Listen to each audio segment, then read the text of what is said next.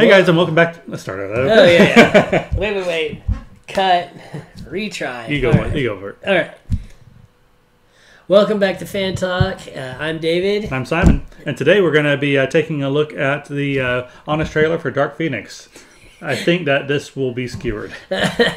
Well, we've had a couple of conversations about Dark Phoenix, and like I said, it, it took me a while to watch. it. I didn't go watch it in theaters. I feel kind of bad about that because the movie needed the help. And uh, again, I love X Men, and I will say this before we go into this, what is going to be undoubtedly a lot of bashing and ripping. That for a X Men movie, it wasn't horrible. It was entertaining. If you've liked X Men films, I feel like you'll like this one. It's better than Wolverine Origins. Definitely, uh, but definitely, there's a lot of things that you can make a moviegoer crazy and make you cringe and want to pull your hair out. And I'm sure there's going to be a lot of that in this. So, without any ado, let's go ahead and watch this. All right.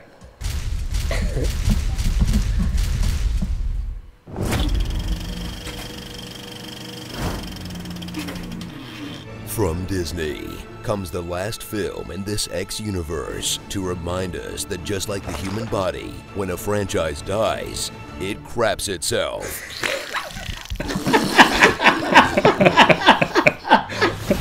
Dark Phoenix. Yep, that's what they thought of it.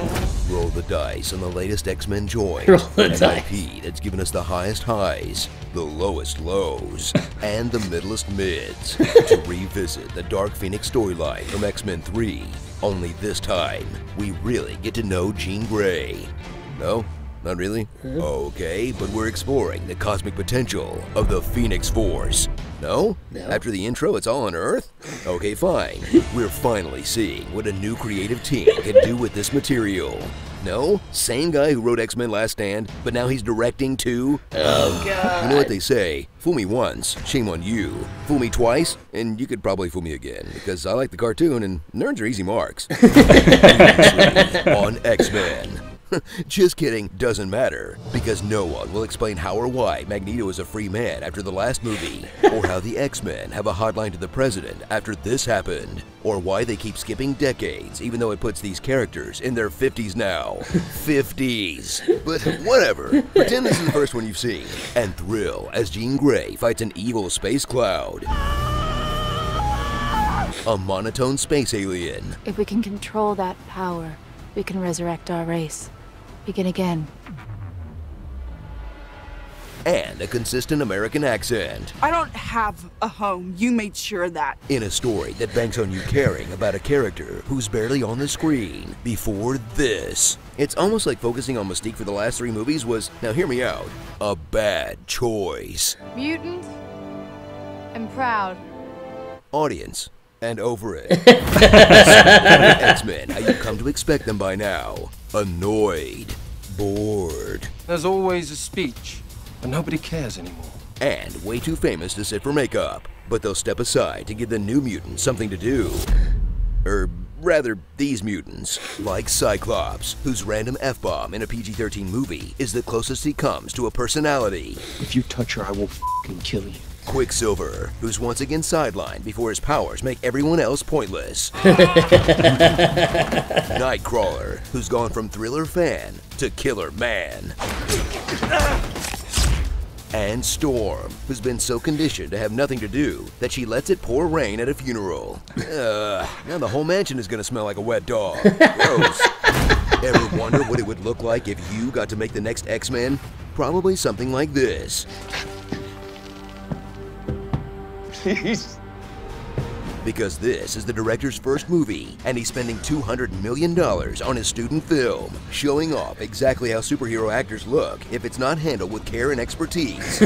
morons. They look like absolute morons. Okay, okay, Michael, pretend you're trying to open a jar with your mind. Sophie, you too. Harder. Harder. Push your hands out more. Way more. Don't worry, it'll look cool later. Oh man, I'm in way over my head. So press X to pay respects to the final terrible movie of the current X-Men franchise that you could blame on the writer-director failing upwards, or last-minute reshoots to make it less like Captain Marvel, or the main cast wishing they were dead. Now we're the only ones left. Or you could choose to remember all the good times, forget this ever happened, and maybe try reading some X-Men comics instead. Did you know they made books out of all these movies? There's even pictures inside. Pictures. Starring Lady Bird, Charlie and the Child Soldier Factory. Let's see them aliens. Old Magneto had a farm. X Men Origins. Frasier. Quoth the Raven, please no more. Taserface. Gotta go fast. Jake Gyllenhaal. I'm not here to make friends. And the MCU stealing the X Men? Oh, I get it.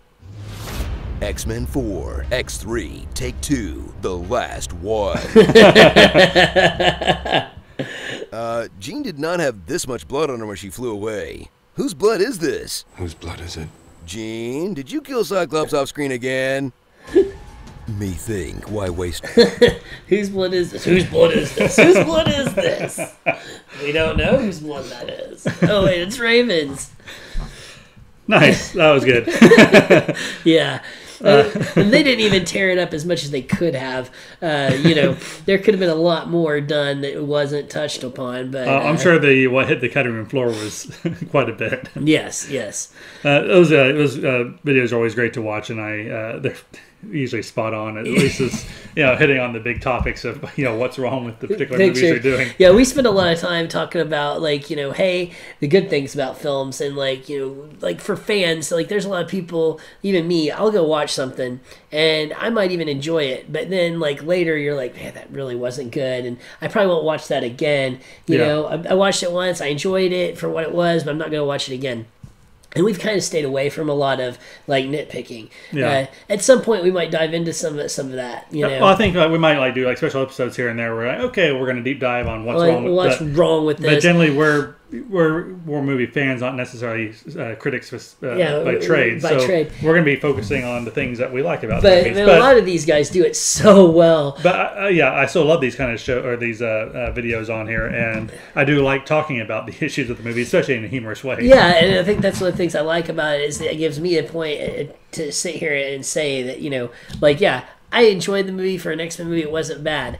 Uh, but then on the same note, for an X Men movie, it was really bad. you know, it's kind of if, if that makes any sense. Yeah. You know, it's like, ah, you know, just go in and take it for what it is. Okay, fine, but there is a lot to be said about like gosh you know some of these movies were really good how do they just screw it up so royally you know and, and, and it, But different people write them. yeah, and failing upwards, like that is a perfect statement for that. Yeah. I think I'm going to leave it on that note.